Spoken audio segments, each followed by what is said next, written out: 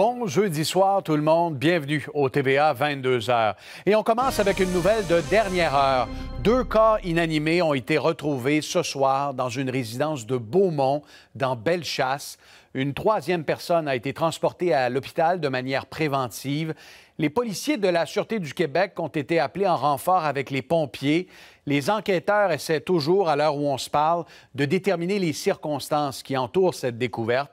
Alors, nous suivrons euh, avec attention les développements de cette affaire au cours des prochaines heures.